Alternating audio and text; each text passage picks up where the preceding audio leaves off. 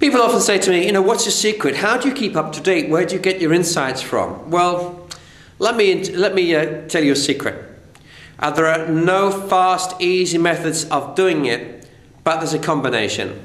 And I can tell you my own. For a start, every single day that I can, I will read three big newspapers, the best I can buy in the country wherever I am.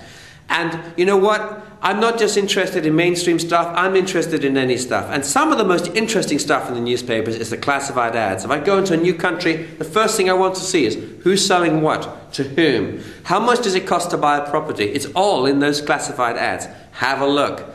Uh, but the, the, three papers that I would read, well, there'd be two big British papers, uh, mainstream daily papers, and the Financial Times.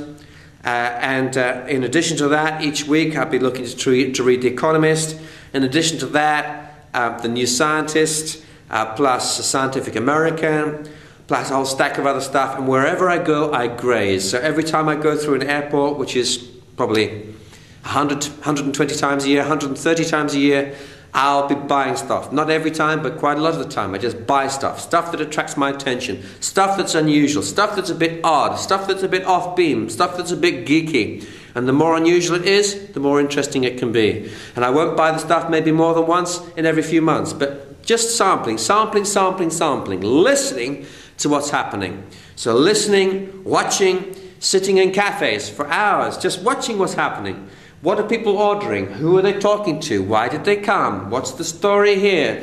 What's about? What are the family dynamics going on? Staying with people in their homes, getting out of hotels. Hotels are the worst places to discover the future. Uh, listening to taxi drivers, an absolutely invaluable source of information. Taxi drivers are the earliest warning sign of a downturn or an upturn in any economy. They smell it. And often they've got extraordinary stories to tell about the people they've had in their cabs and what's really going on in their cities. They've got all the inside intelligence that you could dream for and die for. It's just sitting there waiting to be tapped in every taxi journey that you take, every cab driver, every chauffeur, whatever it is. Just listen to these people and the stories come tumbling out.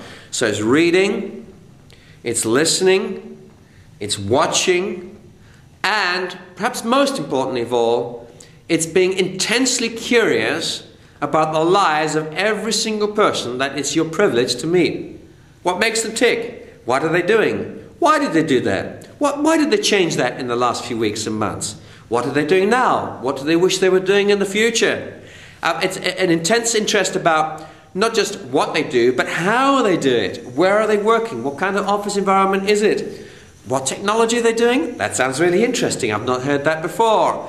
And whether it's a, a, new method of producing a light bulb, it may seem boring to you, to me it's lifeblood, it's fascinating, utterly astonishing.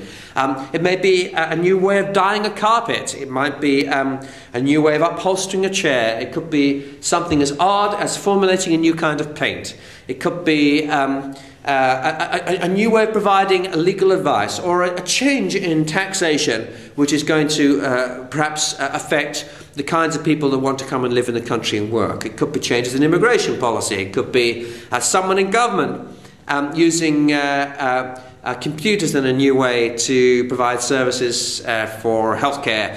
goodness knows what it is, but the world is an astonishing and fascinating and ever changing place and it's a great privilege to try and run after it as it's accelerating into the future and also to listen to those who are coming back from the future with new products and services and coming into today's world and dragging people into a future which is in their imagination, uh, which they're excited about, but they want to bring people into. So it's these history makers as well that provide invaluable insights. And I guess it's my privilege to work with a huge number of different industries. One day I might be with Google, the next day with Microsoft, the next day with BP, the next day, next day with a packaging company like, uh, like Rexam, or uh, it could be um, Tetra Pak. Uh, the, a day after that, it could be with Saks Fifth Avenue uh, on, on, retail, and, and the following week, it could be with the government of Kazakhstan. The day after that, it could be with PrivatBank in Ukraine and then off to India, working with the AIDS organization my wife and I founded 20 years ago, um, and then back uh, to Australia to do uh, another event, and so on. And in these opportunities, in each one of them, are, um, uh, are, are uh, extraordinary um, pieces of fruit to be plucked containing enormously rich insights, which are just there for the taking. If only we have the energy, persistence, and uh, passion to carry on looking. And then I guess it's a question of putting the lot together. And that, that, for that, you need a, a, a coherent worldview, a structured approach.